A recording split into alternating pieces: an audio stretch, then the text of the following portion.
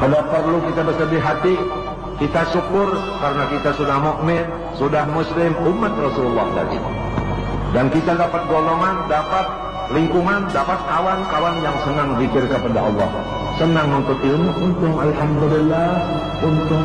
Jangan tapi memikirkan kada berduit, jangan tapi memikirkan jaring, jangan tapi memikirkan macam-macam. Syukuri nikmat Allah subhanahu wa ta'ala. Wabashiril mu'minin orang beriman tidak perlu duka cita. Bashiril mu'minin tidak perlu duka cita.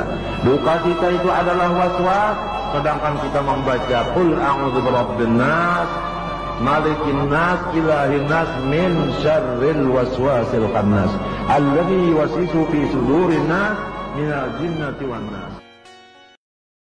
Kalau perlu kita bersedih hati, kita syukur karena kita sudah mukmin, sudah muslim, umat Rasulullah tadi. Dan kita dapat golongan, dapat lingkungan, dapat kawan-kawan yang senang zikir kepada Allah. Senang untuk ilmu, untung Alhamdulillah, untung. Jangan tapi memikirkan kada berduit, jangan tapi memikirkan jaring, jangan tapi memikirkan macam-macam.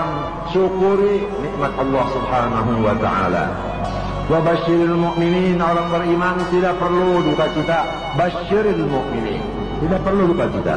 Duka cita itu adalah waswas, sedangkan kita membaca Qul a'udzu birabbin nas, malikin nas, ilahin nas min syarril waswasil khannas, alladzi yuwaswisu fi sudurin nas minal jinnati wan nas.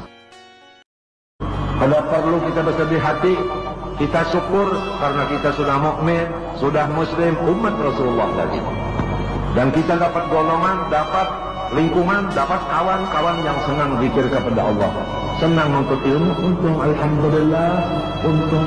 Jangan tapi memikirkan kada berduit, jangan tapi memikirkan jaring, jangan tapi memikirkan macam-macam.